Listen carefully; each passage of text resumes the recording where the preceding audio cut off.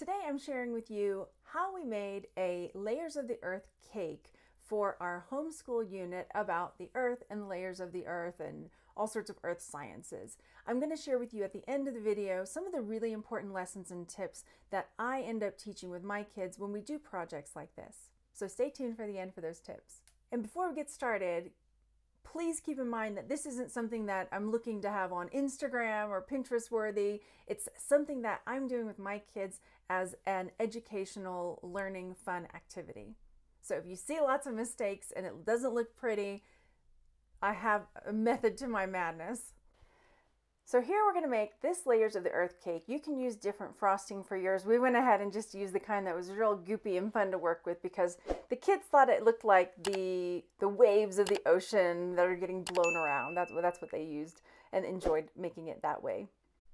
Let's talk about the things we're going to need. You're going to need two different cake mixes, a yellow cake and a red velvet cake. Next, you're going to need food coloring. You can buy some or if you want to make your own, make your own food coloring. You'll also need something to make the yellow cake in. We use these two pans, but you this one doesn't matter quite as much as far as what kind of pan you use. You're just going to make the yellow cake because you're going to use it for some of the interior. And the next thing you'll need is this sports ball pan set. I have found them at garage sales and thrift stores, but if you can't find one when you need one, I'll link one in Amazon down in the description box below. And the next thing you're going to need is icing. We got a bunch of white icing and just used our food coloring. You could make it homemade or you could buy your own different colors from the store. It's totally up to you on this one. All right, first up, you're going to make your yellow cake, and there's only one thing that we do to change this up, and that is we add some orange food coloring or red, whichever one, to make it a little bit more, I think that might have been yellow even. We're trying to make it a little more orangey to really show those different layers of the cake. Once you've got that cooking, you're going to get out your ball pan and you're going to start making your red velvet cake. This one you make exactly the way it shows. Because it's a little bit thicker on the ball, you'll want to make sure that you're testing it to make sure that it's cooked all the way through when you are cooking it. And we put it on a baking sheet when we're cooking it so there's no mess because it's kind of a, you know, narrow base on the cake pan there. When your yellow cake is cooled and out of the oven and all that, you're going to scoop out some of this and you're going to make kind of like what you do when you make cake pops. If you've ever made, cake pops, you take some icing and you mix it in with and crumble it all up, crumble up that bit of cake until and mix it with some icing until it's kind of like a interior of a cake pop, kind of like a Play-Doh consistency or however you like your cake pops. Next, take out your red velvet and let them cool. And then on one of them, you're going to slice part of the bottom off so that it stays upright and will sit on its on the bottom of the cake. So you're going to cut a slice off the very bottom so it will sit steady. Next, on both of your cakes, you'll see it's kind of domed up where it, where it cooked. You're going to slice that to make it flat. So you'll slice it straight across and make it flat. Next, you're going to scoop out a good portion of the center on both sides of that and take your interior kind of cake pop mixture and press it into the center of your cake. So that's getting another one of those layers in there.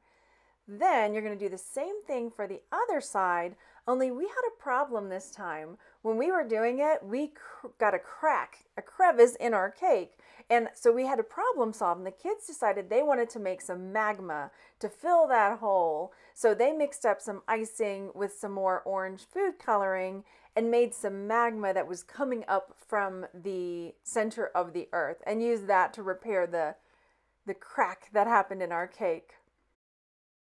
Then you're going to take some more of your yellow cake and you can either mix it up like cake pop again or just take some of the cake and kind of squish it together to make the center center of the earth's core.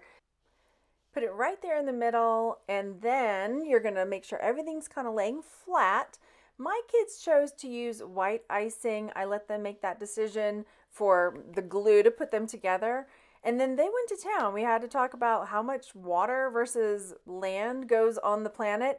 And they found some little fishy sprinkles in the pantry, which I didn't remember us having, and decided to sprinkle fishies all over the earth as well. So this is our end result, and we're going to cut right through it to see how it looks. Again, they really enjoyed putting the icing on and making it all windy. So it was more of a a painting experimental thing as they were spreading it and blowing the wind around. So it, this one is a little messy. so we cut it open and let's take a look at our finished product. Gooey, gooey, lots of water and wind. And here's our finished product. We've got our three layers. We've got some magma from our crack that happened. Yeah, lots of fun, lots of lessons learned. The thing I wanted to impart to you as a parent, grandparent, teacher is to take a deep breath, big deep breath, and let them do it because that's where the learning happens. The learning is going to happen with them doing the activity. And when we did this, my kids were a bit younger, and I had to really take a step back and allow them to make mistakes and allow them to feel that, not panic, but that like, oh no, I messed up, now what?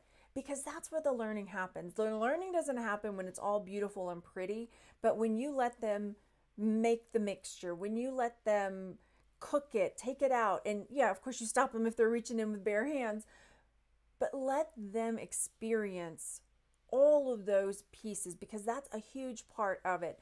One, you know, we're learning cooking, we're learning measuring, we're problem solving, they're reading the packages. When that when the cake cracked, they at first my kids were like, "Oh my gosh, we ruined it." I'm like, "But did we?" You know, and that's a moment where they can start saying, "Well, hang on a minute, there are cracks in the earth and da da da da. And then they start having fun with it. So teaching them to pivot when there's a problem is a huge, huge benefit to doing activities like this. And believe me, we all would love to have these Instagram worthy, beautiful cakes that you can post on Facebook and have your friends ooh and ah over.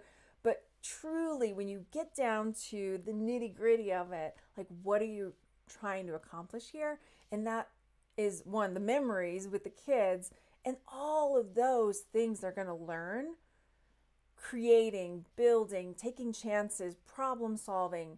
There's so many things that go into activities like this when you take the hands off the wheel and let the kids try steering for a little bit because that's how they're going to learn, grow, get confidence, and be amazing problem solvers in other areas of their life.